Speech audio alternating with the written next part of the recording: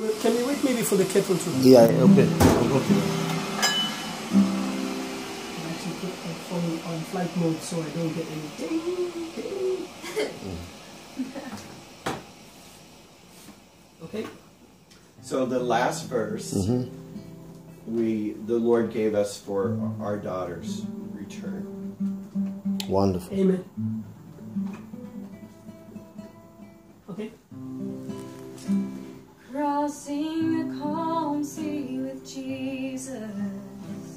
The disciples were getting concerned. The wind started violently blowing, and he was asleep in the stern. Does he not care that we perish? We're helpless and oh so afraid.